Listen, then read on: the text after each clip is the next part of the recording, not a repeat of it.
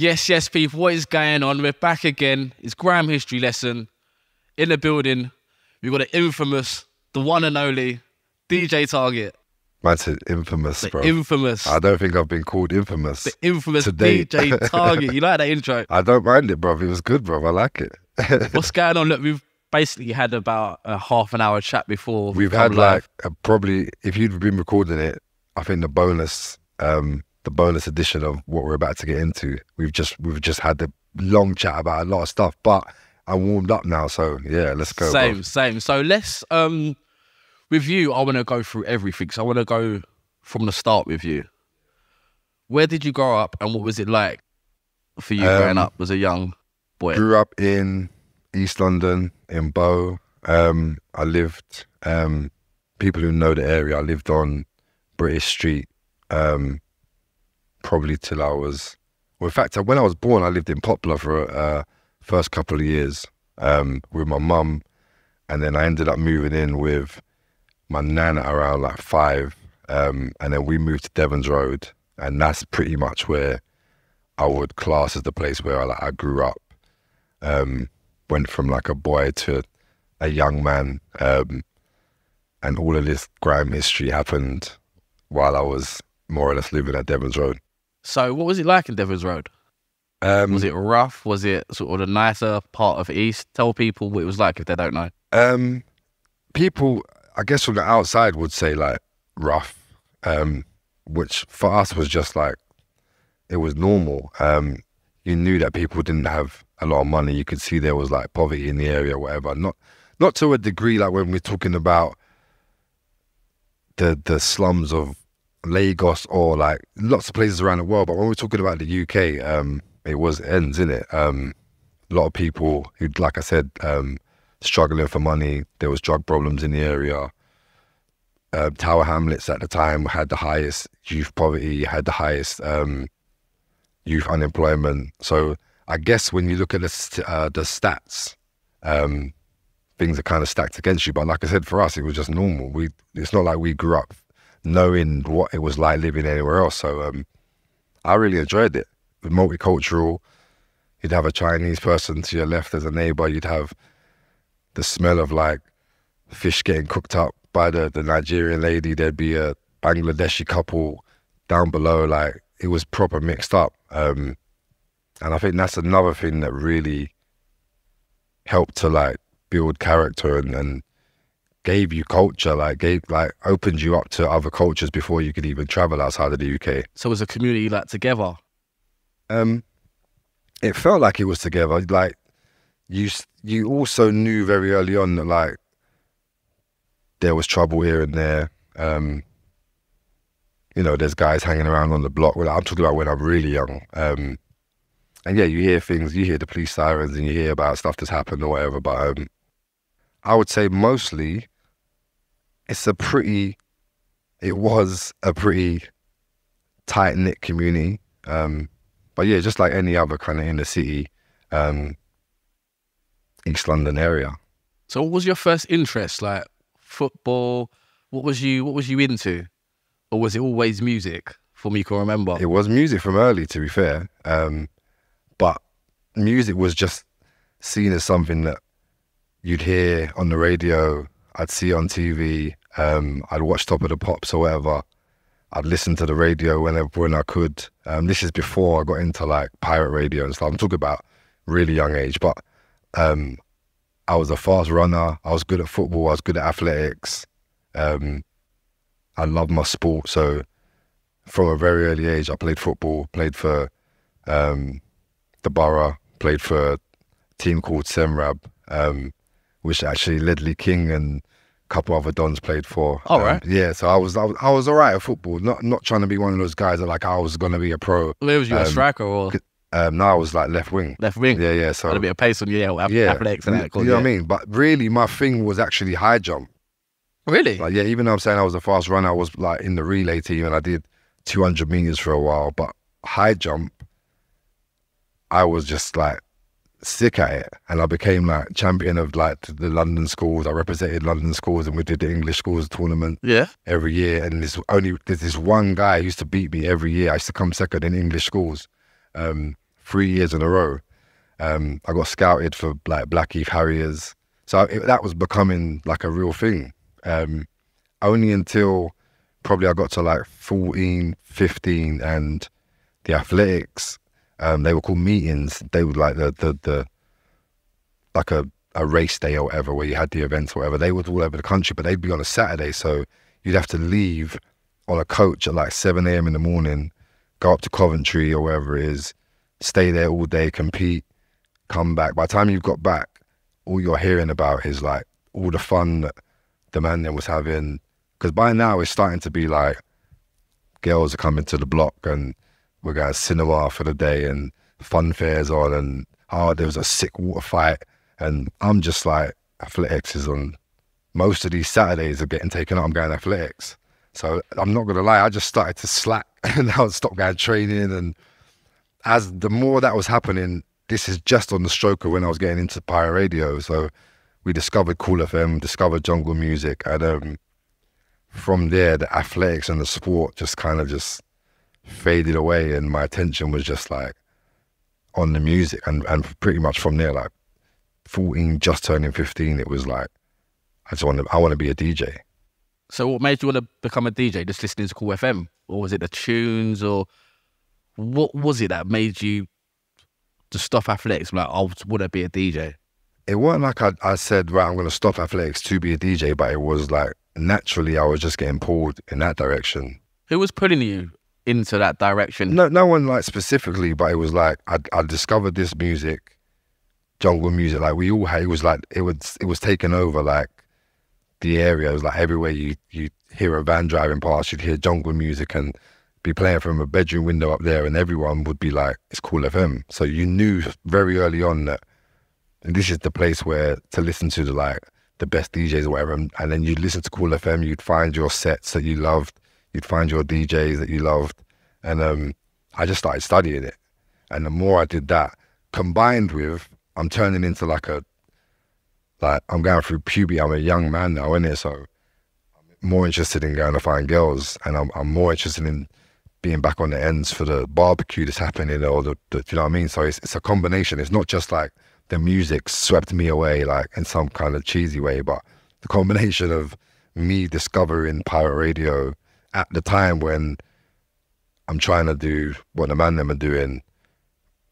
The athletics thing is fun and I enjoy it because I was good at it, but I feel like I can be good at this. Um, and then yeah, the transition pretty much just happened like that. So, do you remember getting your first decks? How was you? So, obviously, you started listening to the music. Yeah. You start wanting to get involved. How did you actually get involved? How did you start mixing, buying records? Yeah, first, the, um, the the actually the the decks thing, falling in love with Dex and just DJ culture in general. Um, like at around the same time as I'm as all of us are like enjoying like listening to Kool FM, I'm running home after school to make sure I got my blank tapes to record it and whatever else. Um, Wiley's introduced me to. I met I'd met I'd met Wiley. Um, I don't want to jump over that. I'd, I'd, met Wiley through a close friend of mine who was his cousin. Um, I talk about it in my book or whatever. Um, a few years earlier, so by now we're close brethren. We're both loving Kool FM and the whole jungle thing, and he's got a friend called Dean who goes to his school. Slim. At the time, he's called DJ Slimfast. later became DJ Slimzy, but he took me around Slimfast's house. Never knew, I'd never met him. Um, so Slim's welcomed me in, whatever we met for the first time, and Slimzy's got decks in the, in his bedroom. Like I'm just like raw. Like I can't because the last time I saw Dex was, I think Wiley's dad had a pair that Wiley somehow wasn't like managed to bring to his cousin Damien's house that we would just Is go on. No, Damien is Biggie's older brother. Right. Yeah.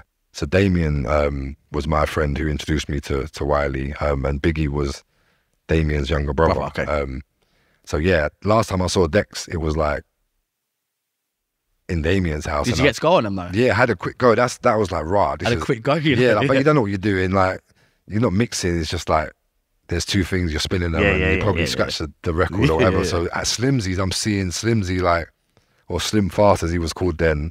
He's done a couple mixes and he's got tunes, and I'm able to like put the tunes on and I'm play, putting on the needle, and I'm like, oh, that's that tune I heard on whatever, and like you're finally putting titles of songs to like songs you heard on the radio, and like to me, it's all exciting. I'm just like I'm in a new element that I've never been in before, and then I'm like you show me what you do, and like that's the first kind of real go that I had, and from there I was like, right, I need to go. And, I just need to go and start buying records. So I think it was either that weekend or the next weekend.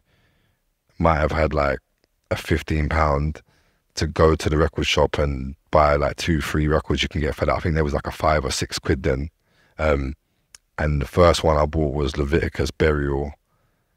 And I think I got um, MB, not not General Levy one, but he had a song before that called Style. I think I bought that one. And yeah, my two records. I went, I didn't have a, I didn't have any decks. How you mix it? You have to I go just around had no, I, slims. no, I just had like a um in them days it's like a stereo. hi-fi. Yeah, little Yeah. hi-fi thing, Yeah. but on top it had the thinnest, like thin, crisp pizza slice of a turntable. Yeah. thing. it was rickety and everything. But yeah, you play the record and like I would just be like, I'd pretend it was a deck, and that was it. Um, for ages, that was it.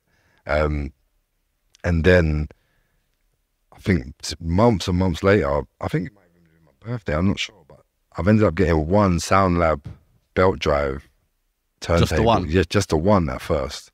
So I've set that up. I've got a mixer as well. So I've got the mixer and the one turntable. Yeah. And no other deck. So what I used to do is I used to put the radio on, on call. And then Yeah. what mix with the other? Yeah, because the ster- the hi-fi had its own speakers, and then I had my little one deck, one little mixer, and one little speaker, so so I could hear it output. And I used to mix, try and mix or mix into the radio. Like I should basically mix, and the other deck was just the radio that was playing. So I just mix into whatever they're doing, Wow. and that actually started getting quite good. I was doing some sick little mixes, and That's whatever how you learn how to mix. like re- that was my first proper practice at home by myself because you know when you're by yourself you can mess up and you're Mm. not you can really get into it and that was the first thing I was doing I was mixing into the radio um and yeah that was it for a while and then eventually got another deck um another SoundLab belt drive um and at the time I was chuffed you know like you've got decks now the man that's coming around we're doing tapes them lot are MCing It was so it was coming around at the time.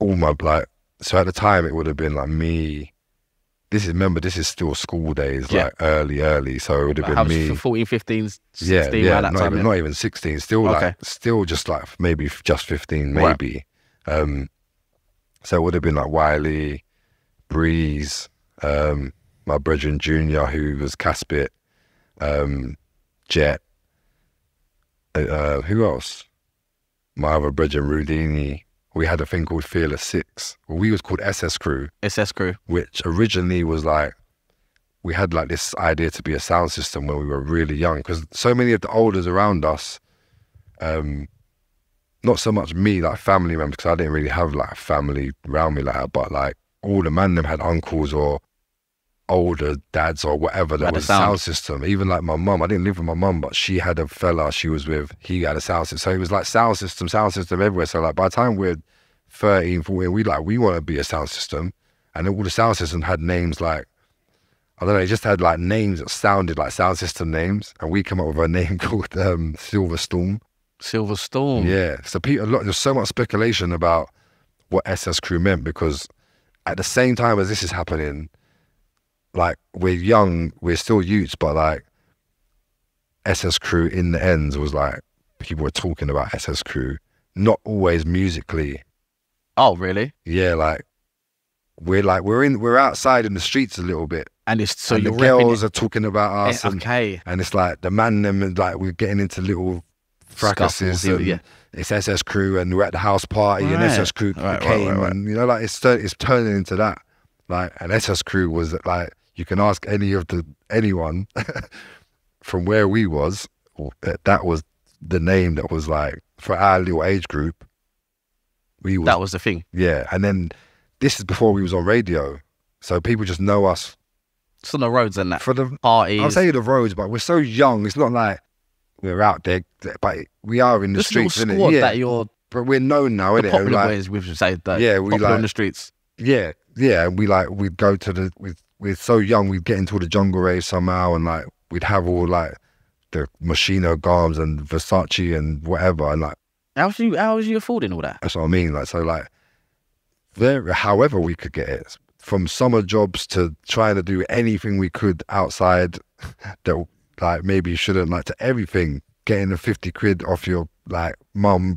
trying, just mixing together everything you could to get in the garms, like whatever people had to do to do them, to get them, we, we got them. Ah. Um, and yeah, that was it. We was kind of just becoming a bit of a thing. And then we'd started to play at house parties in the end. So anyone's having a house party, like the hot chick um, whose birthday is coming up, like she wants SS Crew to come and play. So we would be doing that. That was our first, I guess, book. We weren't charging, or maybe sometimes we might have charged like a little 20 quid or 30 quid. So we would be going there, borrowing some of these uncles and whatever's amp and thing. We'd be going and setting up. Oh, you'll be setting up. Yeah, or they'd come and set up with us and like leave us to it. So we're we're becoming we're trying to do like a sound a little bit, and then we realize it's long because you got to carry stuff and remember there's no whips. Yeah, no vans to load yeah, anything so up. like it's long. So we wanted to do the DJ thing, so we're just doing that, making tapes or whatever else. Um, and yeah, that was that was the thing. Fearless Six was out of SS Crew, which was a bit was a bigger thing. Six, the six of us who was doing the, it was like me and five MCs. We were within SS Crew. We were called like Fearless Six, Okay. and so that was um the first kind of setup, music setup um, that we had. And then not long after that, Rinse started.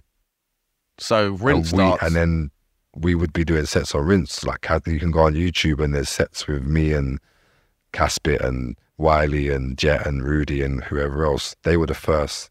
Um, with to be fair, we went on another station first. First, what was that? managed to get a show on a, a station called Chillin' FM. Chilling FM. yeah, which was in Hackney in Wells Street, not Wells Street, Holly Street, pre gentrification, like yeah. We've heard the stories about Chilling Hellhole. FM. Yeah, hellhole. You know, you said to me it was Bow rough, yeah. like as rough as Bow might have been. Like when we was going to do these radio sets, I was saying, "Bloody hell, bro, this is booky." Or what? That wasn't the was word. it late? What what time was you late, like one till three, in the crackiest block in Forest. Because remember, Bow to Hackney, you're crossing the border basically. In them days, it's on? like Not safe, is it? Obviously, you're. A, Yeah, a we're boy. bow youths, and like no one knows us. We're just turning up in a in on in a block. You know, like there's no way we shouldn't really be here, but Yeah. we dying to be on the radio. So yeah, we done a few of them. We I think we done that for maybe three months. Um, we had to lie to the guys who ran it because you had to be 17. We're in, we're in school still. Um, so yeah, we did that for a while, and then G, I remember him saying to me he's going to set up a station, and then he called me and was like, "Yeah, we're ready to go," and that was it. We was on there So he was on there straight away from the straight away. Yeah, I think maybe if not the first day, the first weekend, um, doing the jungle thing. So you get on rinse. You're on one of the first crews on there. How did rinse start progressing? What was the journey like in the first year? Well, all of us, it was like we want to be like Kool FM or as big as Kool FM, and we were just like the the generation down from them lot. So we was like just all young and just energized, and all it's like Kool FM had all the kind of cream of like jungle DJs and MCs, but we were like the breeding ground the next generation, and all of us was like, we couldn't compete with them in terms of like their names, and they were getting booked for all these raves and whatever. But Rinse started just serving like Bow, and then it was growing and it was growing, and like the names were starting to just ring off, and like everyone on there was just doing six shows, and before you knew it, like then there was Rinse raves, and I remember doing, um, it was called Labyrinth on Dalston. I think it's the where the train station even is now. Yeah. Um, but yeah, did a, a thing in there, and then they did a an under 18s, and there was it was just like within a couple, well, not even within a couple of years, within like a year, Kool FM was definitely looking over and thinking, hang on a minute, like they're hearing a lot about Rinse. It's like, do you know what I mean? It's, we're become we're, we're, we're buzzing, and um, yeah, that was that was the start of Rinse really being a thing. But then, not too long after that, maybe another, in fact, maybe another couple of years Yeah. A lot of us just kind of came off the jungle thing Right. and started to like slide over towards garage. So let's take it back a bit. So you're you're DJing. Did you start making jungle tunes? Yeah, actually, yeah. We yeah. Yeah. Sorry, there's so many Yeah, yeah, things, yeah. bruv, I forget. So one of my close friends, Gifford, um, DJ Trend, All right, Pete. rest in peace to my brother. Um, he later was known as TNT, but before he was known as TNT, he was going to a community studio in the ends. Um, some guy used to end up leaving him the keys, and he went in and just learned how to use all the equipment and knew his way around the studio. We're in year ten and that. Do you know I mean? Year ten. Yeah, bro. He's like, he knows how to use a studio. So he's like, come down. I can't remember the guy's name now. Um, but he, the guy would leave him the keys. We could go in there like maybe overnight or sometimes it'd be in the daytime. But I would just go in there and sit and just watch Gifford doing his thing, sampling things, doing things like going on Logic. I'd never seen Logic before. Like this is all brand new to me. But he's he's putting stuff together. He's making stuff and it's sounding good. Do you know I mean? Like from from where I'm from where I'm sitting, he's, he's onto something. Then he's like, let's make a tune together. The first tune we made together, like remember he knows what he's doing. I just know vibes in it. At this point, I know what a good tune is. no, yeah, I, I, I don't know technically how to do anything, but turn on the keyboard and I can press. You know what I Yeah, mean? I can yeah, press the thing. So like that, that was kind of. He was doing. He was setting stuff up technically. I was playing stuff in. He would play stuff in. He would do the technical. He would like draw in the hi hat. He would like basically we made this tune together, and the tune we made together was two degrees. that was the first tune. Yeah, that was the only tune. We never made another jungle tune together. That was it. We made this one tune together. Then we thought, what can we call ourselves? Trend and Target. TNT. And then he said, ah, TNT, Trend and Target. So we was like six. So then we had this one tune. We started playing it on Rinse, obviously, first. You could tell straight away the tune was like getting a mad reaction. Mm. And then, um, like, a couple of the cool DJs, I think hit up Gifford and was like, wanted to cut dub plates of it. And Oh, really? yeah, and then couple weeks later, Nicky Black Market called somehow and was like, he wanted to meet us. Remember, this is like, You still in school? yeah, it was still in school. This is all still it's young, bruv. Um, and Nicky Black Market and these guys are heroes. Do you know what I mean to us? So we've gone to Black Market Records. We've met him. Told us he wants to sign the tune to his label. We started a new label called Cartoons. He wants it to be the first release. Blah blah blah. All I'm hearing is Nicky Black Market loves our tune. I don't like at this point. No, the money is not even. I think we got like don't quote me, but maybe 300 quid or might have been even five. A lot of money back then, though, innit? I remember thinking, oh, that's it. But then this this vinyl sold Ah. bare copies, bro. But listen, there's no hard feelings. Big up Nicky Black Market as well forever. But um, we just didn't know any business, to be fair. Um, so yeah, he's he signed the tune. He's then took it on and given it out to his network, which is the big boys, isn't it? So remember, we're going to these jungle raves. We're in the jungle raves now. We're just hearing the tune coming in every minute, every set. The big D, the our big DJs that we've been listening to, and that Brockie and this one and that, like they're all playing our tune in the rave, the big rave. How are you feeling when like you're hearing it tumbling in these raves? Bro, it's crazy. And you're in the crowd, or Bro, you- yeah, we're in the crowd, Yeah, bro. yeah, yeah. Remember, we're just youths in the crowd as well. So people, we're looking around, everyone's going mad to our tune. We're Do you just think in- that you've made it? No, no one knows. Like we're just going mad, but people people just thinking this just some kids The going mad, but kids, we're going extra mad because we're thinking this this is our rhythm. So yeah, that happened, and that was it. And Gifford carried on. He by he just carried on making tunes. He was making bare jungle tunes, and Nicky Black like giving them to Nick, and it was, they was all just blowing up. He started his own label, and he said to me, like, "Can I carry on the name TNT, but I'm gonna give it a new meaning, um, treading new territories?" And I said, "Yeah, of course, bro." And he just he he he obviously took on the name TNT and had spare tunes out from jungle to garage to more or less grime, as well, yeah, yeah. all under TNT. So I get why people wouldn't even fathom why how I was involved in Two Degrees. And I always say to people because people are like, "Oh, you was into TNT," and I'm like, "No, Gifford was Yeah, but you just yeah, made two yeah, degrees yeah. But yeah, that one tune, which happened to just be a mad classic. So why didn't so? The tune is pumping. Yeah. Why didn't you take advantage and carry on with it? Mem also, this has happened. Like we've made that one tune. Gifford's just like he's literally like a technical G in the studio. I'm turning up sometimes and like, Are you like, still I'm, not, around? I'm still not really like Taking it serious? Yeah, not the making tunes bit What yet. after like I know, yeah, I know, I like, you- know, I know. It's it's mad, but um, and then like I was saying, not probably a year after two degrees, maybe I did go in and try a couple things and they were shit or whatever. That Okay. that might have happened as well, Mm. but I don't I don't remember making like jungle tunes Yeah. after that.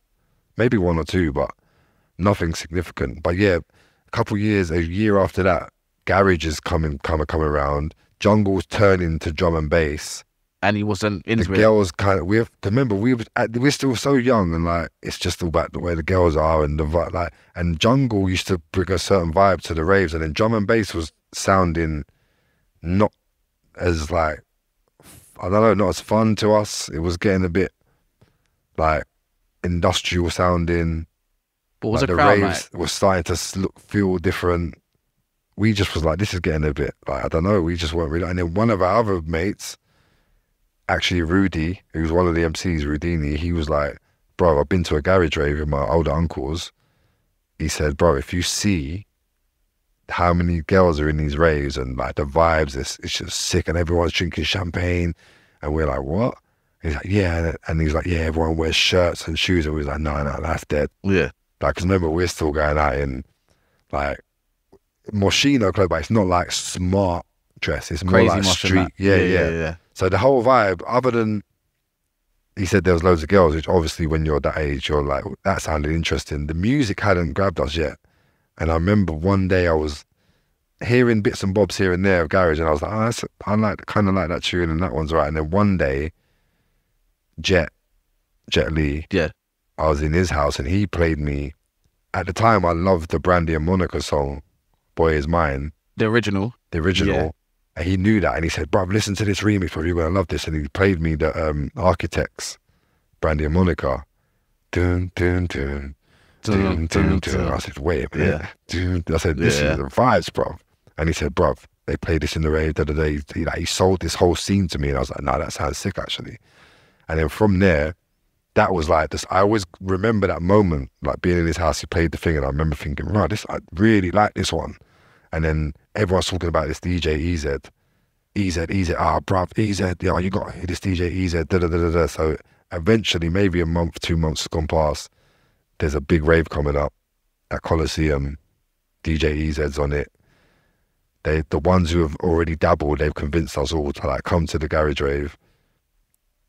Got to hear this DJ EZ. Some of these tunes, it sounds like it could be vibes. We've gone out, re, re, readjusted the, the dress code, gone and got some Patrick Cox shoes, Yeah. got a little shirt, straight the jeans out a bit, and went to the rave. And fucking hell, bruv. what was it like?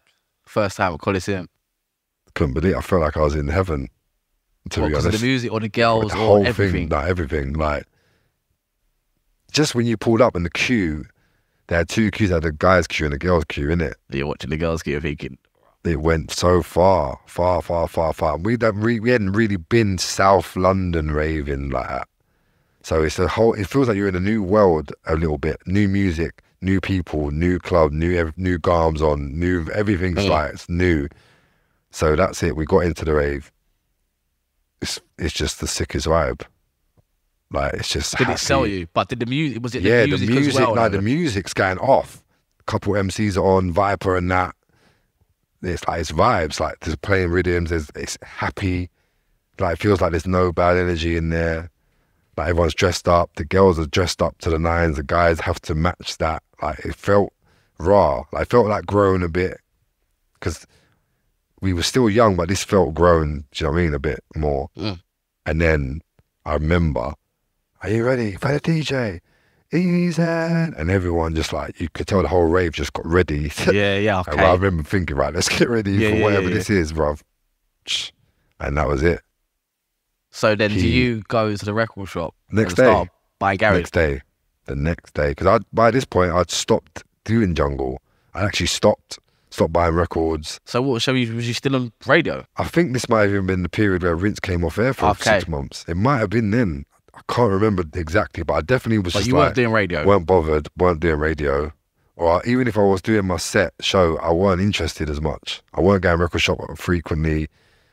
Um, I was just about to move house because my nan died, and I remember calling Dizzee and saying, because he'd been buying records off me.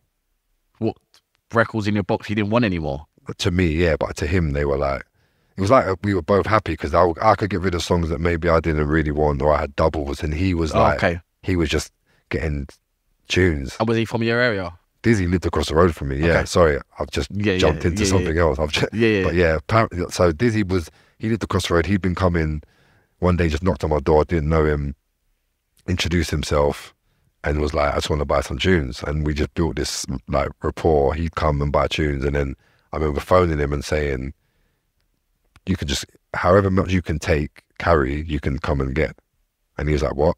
I was like, "Bro, yeah, just come." And he just literally he was there like quick, ding dong, and that was it. I think he might have done even a couple trips, and he just Yeah. took as much as he had, could. He still got them. I spoke to him the other day about it, Yeah. um, and that was how like, I was like with Jungle. I was like, I think I'm, You're I'm done done, a bit, and shortly after this whole garage thing happened, and yeah, saw EZ next day. I'm like, no, and now I know I, I need to do this.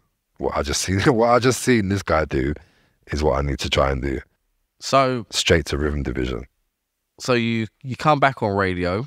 You're playing garage now. Yeah, but then that's the thing. Eh, and most of the ones who like from my generation, that age group, who were like really young in jungle school, we've come we come out of school now. Garage is swept through. So they're playing it as well. So Rinse is now becoming a garage station. Do you know what I mean? So we're it's everyone's kind of on that same wave. Like we're all G's probably now playing garage. Slim's probably edging into garage. Like we're all doing it. So how long was you playing jungle and rinse for? About a year? No, more than a year. Couple, like at least a couple years. At least a I'd couple say. years. Yeah, yeah. Okay. And then now you're playing garage. Who was you? Was it the same crew? Like what was going on now? Then obviously the, the So, music's yeah. changed. So what happens First, it weren't even a crew, and then I just still Okay, had a show. I just had a show, like got my show back or whatever, or just carried on doing. I Can't remember how, but I had a show. Wiley was still with me. Yep. Um, Wiley was also kind of DJing at the time. Like he would dabble in and DJing, but he'd also go on the mic. Maxwell, who we'd been, he'd done some jungle sets with us back in the day. We met at college. You and Maxwell. Yeah, he was going out with a girl who lived in the ends. Who was one of our like girls from the ends. So she was like, oh, "I'm going out with this boy, Denzel. Oh, yeah, got yeah. me him." Da, da, da. so Yeah, yeah. we've met Oh, him. right. We really got on, and it happened. Just so happened, he was Nicky Slim Tings. It's crazy because the names are still about Slim Ting. Yeah, does Slim the Thing, yeah, yeah, yeah, yeah. He was a DJ. He was Maxwell was his MC. Oh, was it? They were both from Leyton. Right. Oh, yeah, of course. So they they're yeah. brethren from before. So he, Maxwell was originally Slim Things MC. We've met. Maxwell started doing sets with me and Wiley in Jungle. Yeah. Fast forward, it's Garage now. Maxwell went to prison. By the time he's come back out, it's Garage. So he's kind of just jumped on the Garage wave. I don't know where Slim Thing is at this point, but Maxwell just come and joined on with me and Mm. Wiley. So me, Wiley, and Maxwell doing sets. At this point as well, Garage is like ran by like female reaction and what the girls like is like that's that's what Garage felt like it was catering for the females. Mm. And so that's what you're that's what the, the tunes are sounding like. The the reaction on the radio station is girls, girls, girls, girls throwing up, throwing up. So we just ended up calling ourselves ladies hit squad. This is, this is where I wanted to get to. Do you know yeah. how funny that name is when I think about it and why we thought we could call ourselves that? Why? Why? Because that's like listen to what it says. Ladies hit squad. Like we thought we was eligible to be called that at that time. Did it work? Yeah, bruv, it was happening. Like it started to like very quickly start popping. Um Look, Skepta had a whole tune called Ladies Hit Yeah, Squad. exactly. Ten years later, bruv, it became mini legendary. If he was around, you would know. Um, but before it got to really fly off, at the same time as Ladies Hit Squad happening, Oh. Slimzee and Major Ace and God's Gift and Plague and Geeneus, they're starting, they're doing shows. Well, double P or after that, actually, wasn't it? Sim- around just after SWP, Yeah. Plague, Paco, but just after that, they're doing shows together. And then on a Sunday, one day they're doing a show, the phone network for Pay As You Go um, went down. So not went down, it went free. So everyone could, everyone was just phoning each other for free. I remember it- that it was like a craze in the head. It was like, oh my God, Well, just on that one day. on this one Sunday, it was like everyone, oh, pay. And so when they're on the show, everyone's ringing in the texting and saying, oh, it's free, it's free, oh, page goes free, page goes free. That happens while they're on air. Next Sunday, like all through the week, it's back to normal. Following Sunday, they're on air again. It's happened again. That thing's happened again, bro. You go, you go. You know, the, the, the, the, like the messages are coming into the show. You- so I think it happened for two weeks, maybe three, Yeah. and they, it, it became right. Sundays the pay as you go show. Do you know what I mean? That's how so it that's started. how Pay As You Go came. It was the pay as you go show first, like because this is the show on the Sunday when.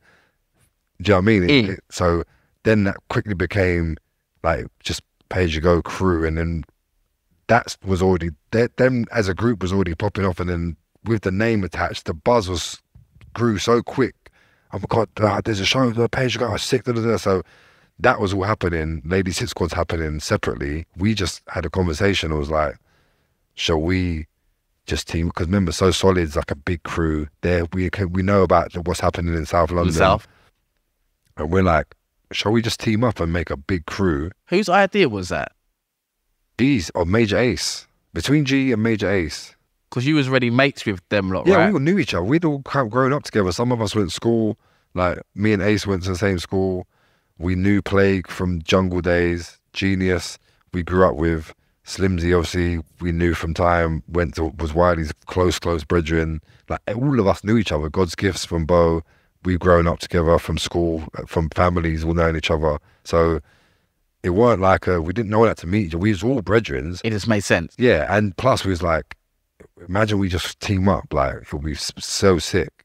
And so we was like, right, let's team up. And then we were like, well, what do we call ourselves? And because the pay as you go thing was, it was really starting to catch a buzz.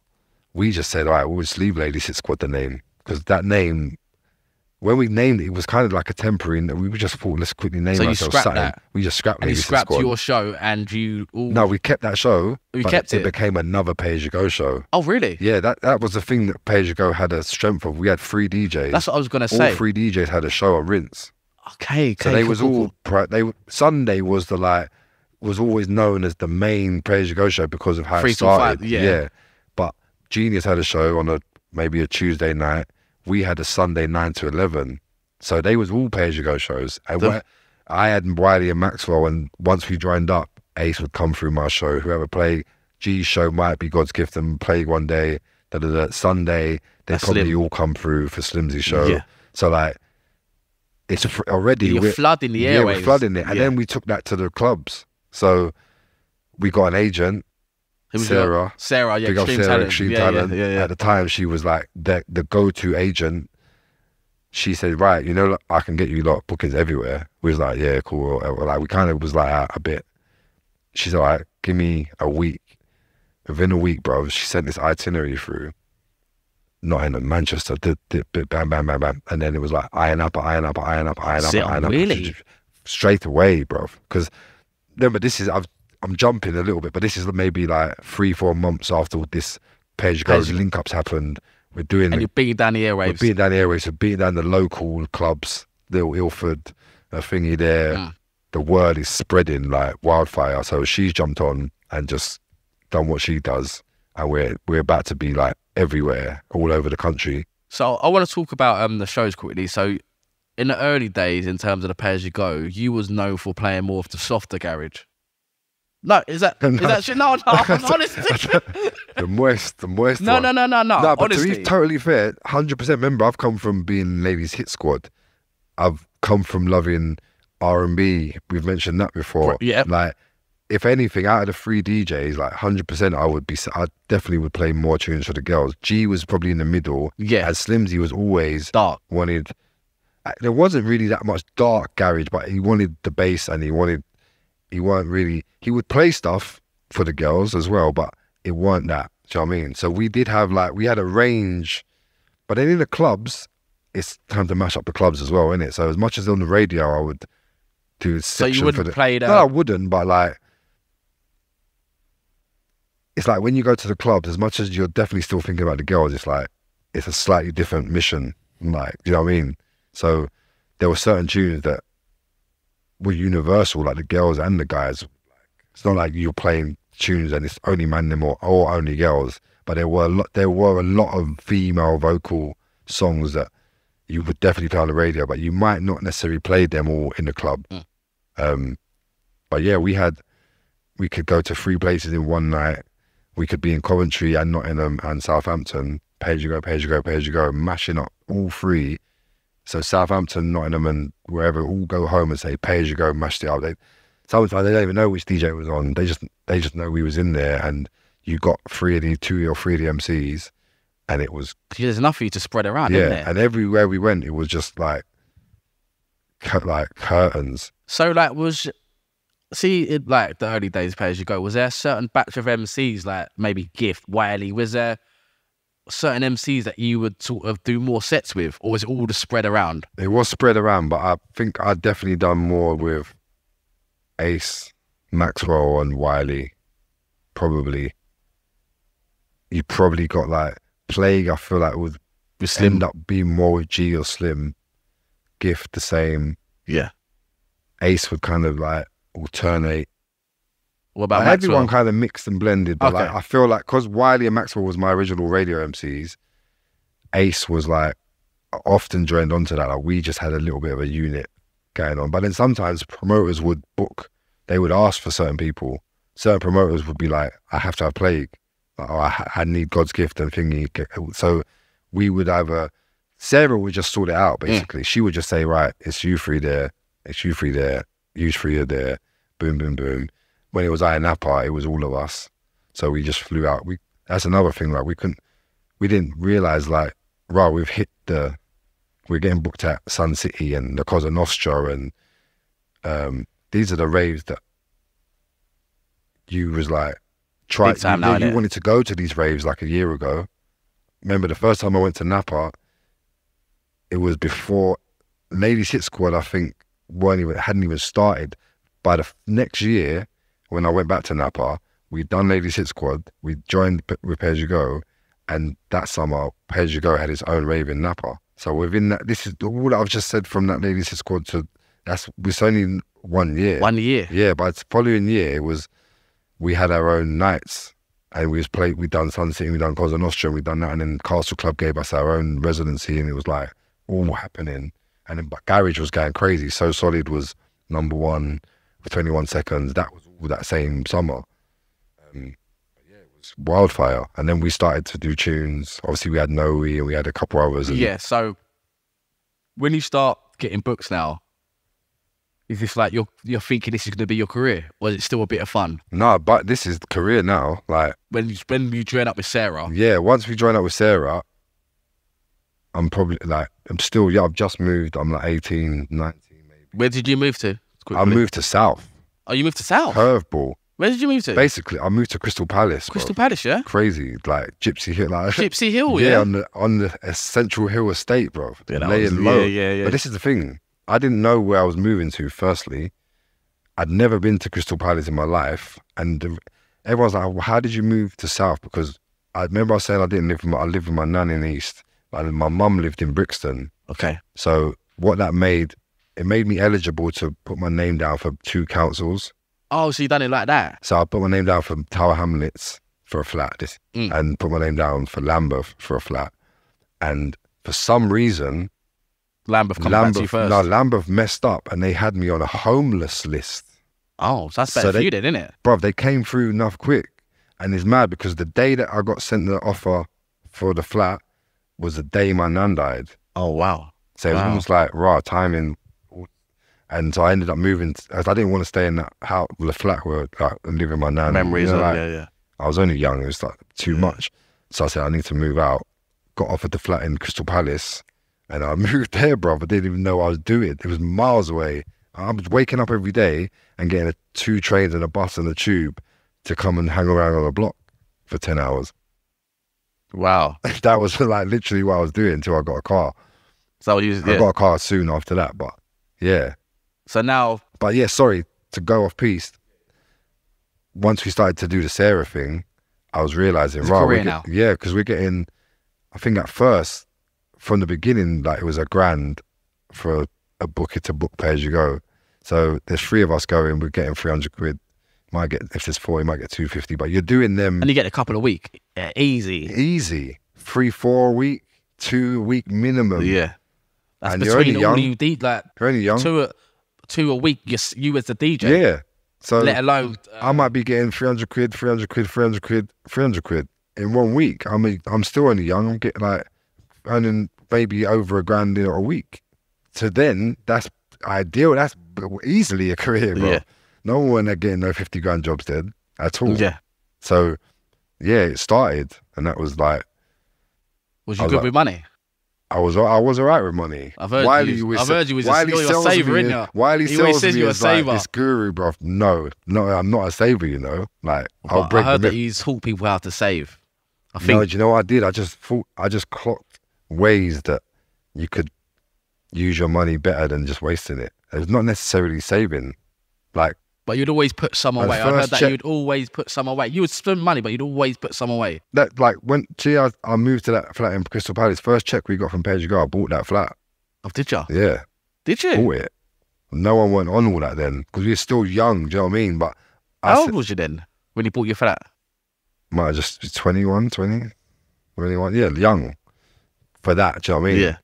and I because I'd lived there a couple of years already, and I had the there was a thing called right to buy back then, and you could build it up for how long you lived in a council property. But Yeah. I took my nan's one like the time I'd lived there, that came over with Oh, me. did it? So I ended up getting a really good discount, and I just bought the flat for crazy cheap, Yeah. like crazy cheap, like fifty bags or something. And then But you sold that now, innit? bro, let's not go into that. Yeah. But it definitely could didn't sell for fifty grand. Crystal Palace. yeah, of course not. No, yeah, no, that's crazy. Yeah, yeah, yeah, yeah. So anyway, that's why I get hailed as like this guru. But I just always the one thing I did I knew I always knew how to make money. So when we was outside, I could hustle up money. If it was I if I needed to, get, I had a couple little jobs for very short periods. Like I I would get, sort it and do make the money. And when I got money, I would try and s- make more money basically. And that was it. And I think because I'd made those couple early moves and like people saw the benefits of them later, I think that's why people think I was good with money. But I, I just see it as I just took took a left where someone might have took a right because I just clocked things a bit earlier on, and I thought to myself, if I ever get in a position of any sort of money, maybe I'll just try and do that, or I'll, I don't want to just waste money. Um, and I think luck as well. Things just have to be on your like. You have to. I had to be in that position to accidentally get that flat. I shouldn't even have been given that flat. Yeah. Do you know what I mean? They had me as home. Like all those things have to line up. I made that move. It put me in a good position to be able to do other stuff later on. Do you know what I mean? So, but I'm not the greatest with money. I'm not like a crazy saver like that. To be honest. Yeah. I know, but there was one time Wiley found my save. I think Wiley saw my saving pot and it had, I'd saved bare bread in it as well one day. So I, was, I think I've given Wiley reason to believe Yeah. that. But no, yeah, I don't know. so we was talking about it turning into a career now. Like, Yeah. It's getting serious now. You're you're getting booked everywhere. Yeah, What's happening to the pay as you go name? Because obviously you're saying so solid are about. Oh yeah, yeah, You've got heartless about. yeah, yeah. Heartless was about first. Yeah. Um, so solid are about, but they're having mad commercial success. Like they're having number one. They broke open the doors. They're shooting crazy videos. They've changed the game. It's a new day. Like we're still at busting up the clubs, and like we've got Know We out, which is sick. But they've just come and done the madness. Yeah. So now we're like, okay, we need to level up. What made you guys start doing tunes? this this is what I'm saying. We're not doing tunes. We was we was making tunes already. Remember, we, we've made Earth Warrior and Eskimo and Creeper and that is that era. So there's tunes getting made, but we're not What thinking. pay as you go? Well, like I mean, the people in Pay As You Go. Are Oh yeah, yeah, no, but I'm talking As about As act-. Yeah, Oh, as you go. Well, Yeah, as- yeah, we'll as- start talking well, about. We made yeah, No yeah. We, but that wasn't even made as a Pay As You Go song. It gets Yeah, but that's a bit roll deepish, wasn't it? well, it was 'Cause- it was the Pay As You Go MCs. It was like Gift, Maxwell, Wiley, Major Ace. yeah. But it wasn't it, when Wiley made it. It was just a day when he was in the studio and they was there. But it turned into a Pay As You Go tune. Like that was one of the tunes that everyone hailed as like a Pay As You Go tune. So, but they these were tunes for the clubs and for pirate radio, and What other tunes was getting made around then? Pay as you go tunes. they weren't Pay As You Go tunes really like that. That's what I mean. There wasn't. There wasn't really like No We was made. I don't think there was a dedicated page. There, like there was was, that other one. Uh, there was one that came out on like a a blue garage. vinyl. or there was a one that came out on a, uh garage compilation. Um, a dark tune. Everywhere goes about pay as you go. That's what I mean. There might have been a couple Yeah, getting yeah. made, but there was nothing. Re- and then when we saw what So Solid were doing, Mm. we was like, right, we need to, we need to do, we need to actually consciously go and make some pay as you go songs that can do that. We need to be able to do this. Like they've set a new foundation. They've just set a new blueprint. Then what Um, comes and where does Champagne Dance come in? That's when Champagne. The first song we go and make is Champagne Dance. Like the first song we say, right, we're going to the studio, guys, to make our pay as you go thing. We want to go and get signed as well. Like we're gonna go and make a pay as you go song with a chorus and a thing. Da da da da. Here we go. Like that's we went in and that was the first song we made. So who made that tune? Me and Geeneus produced that. So was you really producing at that time, like? Oh yeah, yeah. But remember, I've we've done, done Earth Warrior. I've done. I'm doing underground bits yeah, and we'll bobs. talk about that as well. Yeah, G's doing underground bits and Yep. bobs. We weren't producing like kind of big songs or whatever, but we were like, right, you had Earth Warrior there, didn't you? 2001, that yeah, yeah. So this is when we made Champagne Dance. Yeah. That year, that same year. that same. So- Okay, but we weren't making songs in that vein. But there was loads of songs that was getting made in the studio, but probably hardly any of them ended up coming out.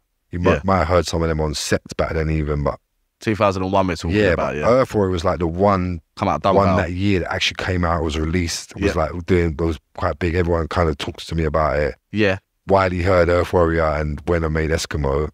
Oh really? Yeah, which is like he absolutely done my dance with that. But he he heard that. I played that to him. He already was playing with gliding squares. Like three days later, he said, "Ah, I've made one. It's a bit like your thingy." I don't think it sounds no, like it, don't, It doesn't sound bruv, like it at all. It doesn't sound nothing like it. But somewhere in his creative brain, like it must have had some kind of little inspiration. But like I said, when he played me Eskimo, I said, "Bro, you, have you heard? Are you hearing what you've just done there?" And that was the end of that. But when you made Earth Warrior, in your head, do you know this is not garage? Not really. I just know that in the Pretty, club. very different. Yeah, but it's like it sounds very different from like It sounds like a genius tune a little bit, tiny bit, the same similar sounds. I don't know. Maybe yeah, maybe a, A little, little bit. bit. Yeah, but I think it was because we weren't thinking of creating a new genre or there was going to end up being a grime.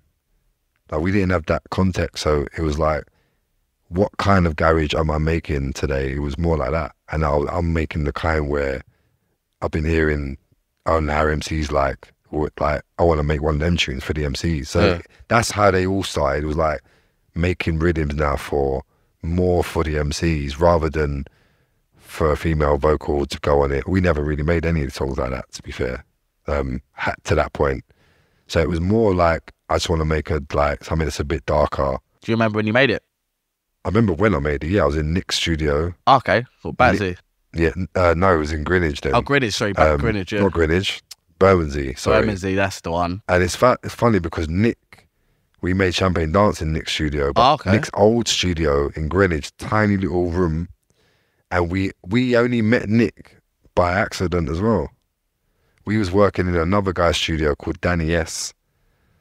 He happened to be going on holiday for like four weeks or going away for four weeks. He was like, I ain't gonna be here. We're like, well, whose studio can we use? No, let me tell the story properly. Yeah. We was making a tune, me and Danny's brother, Dom P Dom P, yeah. we were making an R and B tune. That's what I mean. I was doing he's side, I was already, doing yeah. side things, projects as well. But he was a vocalist from time, so we were making R and B tunes. Uh, We needed some scratching in a song, like uh, a scratching sample. The guy Danny said, "My bridge and Nick down the corridor. He does scratching. Why don't you go and check him? So we've gone and checked him. He ended up doing the scratching. We've used it in the song Bob's Your Uncle. That's it. When Danny said he's going to hot this Danny guy from the studio, not Danny Weed, um, Danny yes, he said he's going away. Whose studio can we use, Dan? Oh, why don't you go and see Nick, the guy who did the scratching? He's got a studio, don't you remember? Da, da, da, da. So we've gone and see Nick. Oh, mate, can we use your studio? We'll pay whatever. He said, cool. First time we've gone in his studio, we made Champagne Dance. So then he said, I know some people at labels. Oh, really? Yeah, so you can Oh, see. so Nick was like Bro. involved with Champagne Dance and Pay yeah, Go. yeah. Okay. Um, Nick got us the deal. Nick, He knew- we didn't know no one at no labels. That's what I was going to ask. How did the okay? You, you go to UNG make this tune. Well, we all went, we all went there that day together to make the tune. So Dom So- come, Major Ace, Yeah. we're all in the room. They're all sitting there while we're making the Why beat. did you get Dom P on the tunes for? Because you wanted a we wanted a vocalist on it. Yeah, we said we want to have a chorus. Let's get Dom on it. Da, da, da. Or maybe he wasn't going to definitely be on that tune, but he came studio. He came, yeah. So they're they're sitting there while we make the beat. Maybe I think Dom was there from early, so he was definitely there when we made the beat. I think Ace came. The others might have come later, but we're there making the beat. We're trying to make something that's a bit more commercial. We're thinking of like getting signed and whatever else. So, but we still want it to be our vibe. We don't want to just make anything. So um, yeah, we've cooked up that beat very quick, very quick, and Dominic's done the the, the hook, and then that's it. Ace done his, I think Ace done his verse, and then it just built from there, and then worked on it a little bit, started playing it on our sets. Oh, by now, I remember, Page Go is hot property, so People were hearing this tune when you're playing our radio. if there's a new Page Go tune, people are like listening. How was you playing it in the clubs as well? Obviously. yeah, playing in the clubs as well. Smashing It the club? Yeah, it was working everywhere. So then we ended up getting a deal. Sony signed it. Um, Was it was it big money? And for them times, I think it was like hundred bags or something for a song. So in them times, And and Nick got you the deal. Nick, I think I'm sure Nick got us the deal. Yeah, Nick got us the deal. He was like, he became like our manager. Was automatically so yeah, because he was like in there not playing. manager. was like, but he he knew the guys at the label, introduced us, whatever. I think he'd done he he dealt with in the music industry stuff before a little bit. Um, he wasn't a manager. He was just like a hip hop fan. Like he knew some guys who knew label stuff.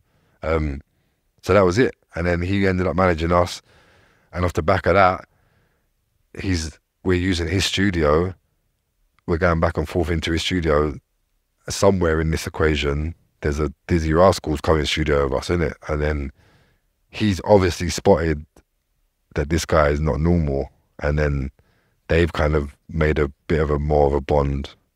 And Nick's ended up becoming later on down the line. It's obviously it's Nick and Dizzee that Ah, um, went off and did Dirtee Stank and did the whole we'll thing talk about together, as yeah. well. But he becomes the roll deep manager as well, didn't yeah, he? this like yeah. After doing the page go thing, Wiley was setting up Roll Deep at the, So around let's the go same. back yeah, a little bit. So Cham- uh, Champagne Dance comes out. yeah, How did it, in terms of um, the major world, the commercial world?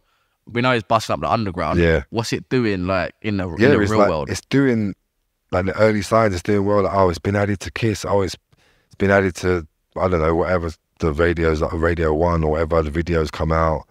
It's doing the numbers. Or doing the numbers. It wasn't like YouTube. It's getting played on the TV. Yeah, yeah, yeah, yeah, Sorry. yeah, yeah, yeah. Not doing the numbers. Getting played on TV. It's like it's it's gearing up. Do you know what I mean? To be a a possible success. Ends up coming out. It went number twelve in the charts. Yep. Which was like for us Really good. but in these days, like people have to remember as well. This is a time when no one's going in there. That top nothing. you Like, actually got to go out and buy the CD or the yeah, tape. but I mean, like people from our life, not like today when we run in the It's charts. possible, yes. But yeah. These days, it's not possible. I think um, obviously we'd seen So Solid do it. They were the first act of our nature to be able to break. That's why we thought we could even do it in the first place. So we've done it. We've got our little number twelve. Big success for us. Not We've a done- little number 12, it's a big success. yeah, big success. But in their world, it's like, okay, yeah, you've Yeah, done yeah. all right. Well, we've done Top of the Pops. We've done all the big shows around the time. We've done Radio One. We've done so. We've done a little run, but it was it was a one single deal. There was no follow up. But at the same time, off the back of that success, we have made our album. We've gone Right. away and just made an album. The one that you posted on your Twitter Yeah. not too long ago. Yeah, so we've gone and made that album. All the labels are talking about it. They all want to come in and meet us. It's all happening. Da da da da. This is exactly around the same time when the so solid something happens, a shooting happens at a nightclub or something. I think Asher D goes, Goes jail away, in a yeah. minute. Like suddenly, bro, it just went dark. Like police are shutting down. Can't book them lot. So solid can't play nowhere. Then obviously we're getting the trickle of that because it's crews in it Mm. and it's this kind of music. So suddenly, Sarah's sending us the itinerary. The itinerary is getting smaller, and we're like, "What's going on?" Like, "Oh, they can't book you," and oh, that race has been pulled, and that's happened. And then all of a sudden, the, the label meetings, oh, thingy said they can't meet this week, Oh, and get cancelled. bro, like. Then we won't go to Napa for the summer because we still had our residency there. We've gone Yeah. there. We're thinking when we come back, we're going to do this album deal and just crack on. We've come back. He said, bro, like every like all the labels are like shaky. They're scared. They're they're thinking it's just going to be a so. Yeah. so it all fell apart. No deal. That's it. Um, and at the same time, when this is all kind of happening, you've got Wiley, who's already set up Roll Deep. You've got Major Aces kind of dabbling with uh, special delivery Yep. and East, East Connection. yeah. East Connection first. Yeah. G's got a rinse. He's really focused on that. Like there's things people are doing. There's distractions already. Then all this starts unfolding. Then we can't get booked nowhere. So why kind of. why did people if things are going well in the charts and stuff, why did people start making own their own little crews and Well, I say things are going well. When we've had this one tune that's done well, the whole summer's come past. In that summer, everything's crumbled in terms of like the scene and how it's positioned and the policing and the labels now ain't doing nothing and So Solid of a comp a band and like we're getting the the knock on effect like that's all happened Mm. and that is why I think Pay As U Go is just kind of like people just started to float off. And no one said anything. Like no one ever said, "Right, guys, we're gonna leave it cool, safe." Like we just floated over Okay, so there. there weren't no like No. we're breaking up. No, no, no. There was no we're breaking up. Like let's officially break up. It was just like it just became obvious that people are focusing on these new things. And then what was like you fresh focusing on? I will remember my day to day man them that I'm with every day on the block It's rolled in. all throughout Pay As U Go is all those guys. It's like it's Danny Weed, it's like it's all the rest of them. So I'm naturally like just I just slid over into Roll Deep. Do so you know when what I mean? Wiley was- was setting up Roll Deep.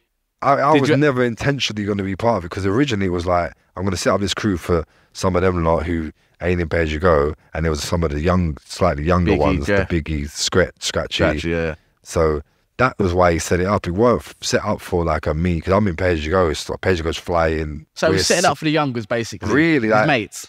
Yeah, like that. Yeah, it's just the, and all these guys are on our. This is all on our block. These are cousins, brothers, friends. It's a family thing. Do you know what I mean? So when You Go is starting to dwindle off a little bit, I'm just naturally.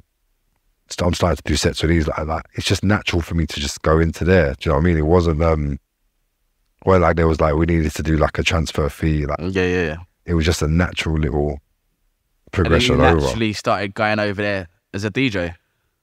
Or Originally, was more produ- it was more producey, to be fair, because by then I'm like, I've got a laptop again.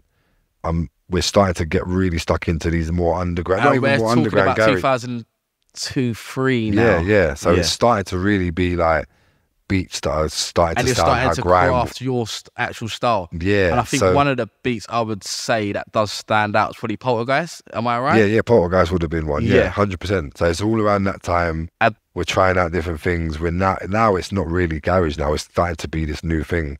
So Danny's got his sound.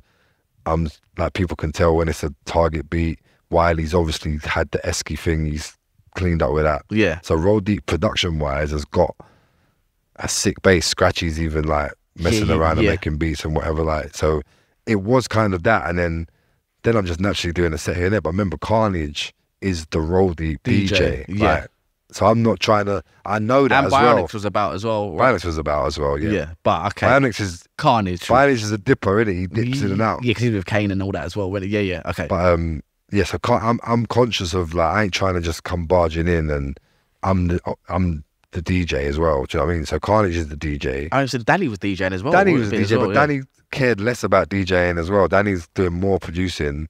Carnage loves to he like that's his thing in it. So everyone kind of just slipped into their roles.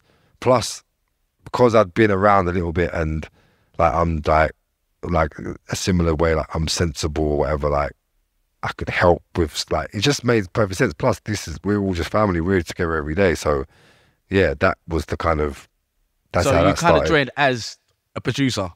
Yeah, I wouldn't even. I wouldn't say it was had a, la- a label on it though. It was just like Target's with Roll Deep now. Yeah. It might. I might pop up and DJ on a radio set. I might go to a rave and DJ back to back with Marvin, Carnage.